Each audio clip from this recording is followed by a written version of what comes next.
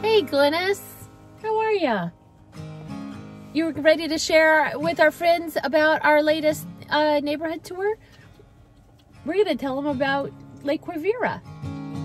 She loves swimming at Lake Quivira.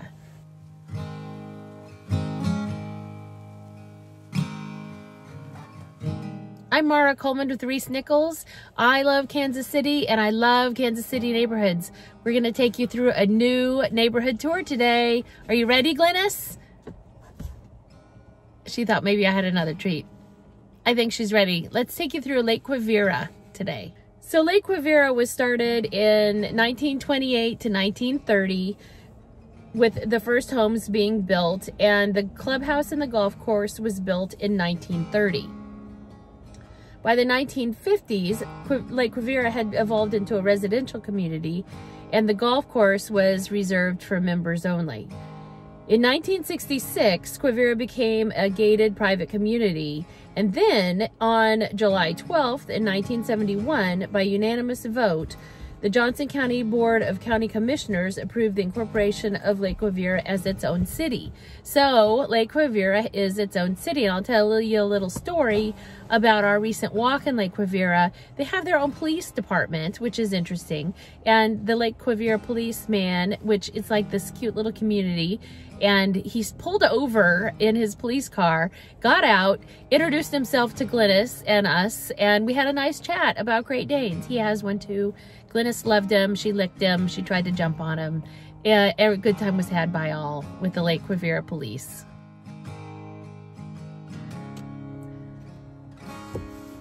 Currently, Lake Quivira has 394 households and is a thriving community. Gol or non-residents can enjoy all the amenities with a membership to Lake Quivira Country Club.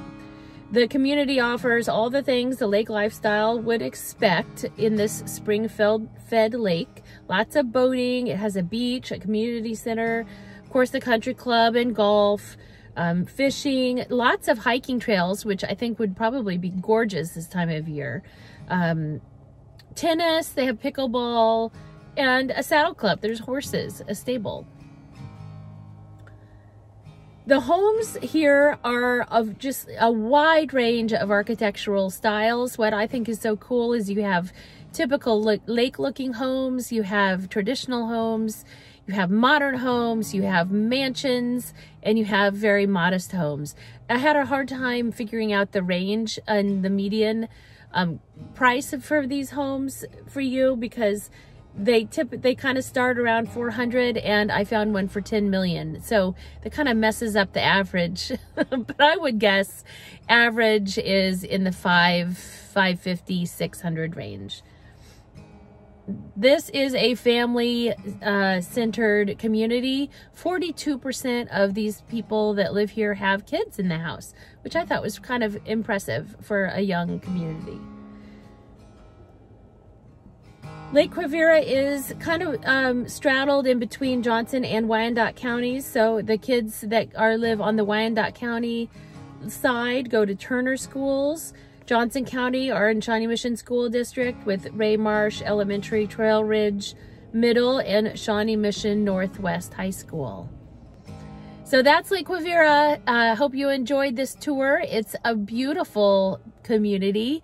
So much to do here. It's quite close to Kansas City, probably, although some of my friends who live here say it's about 30 minutes to anywhere, which I think is fairly accurate because I've traveled from different places in Kansas City and it does kind of seem like it takes about 30 minutes to get to or out of Lake Quivira.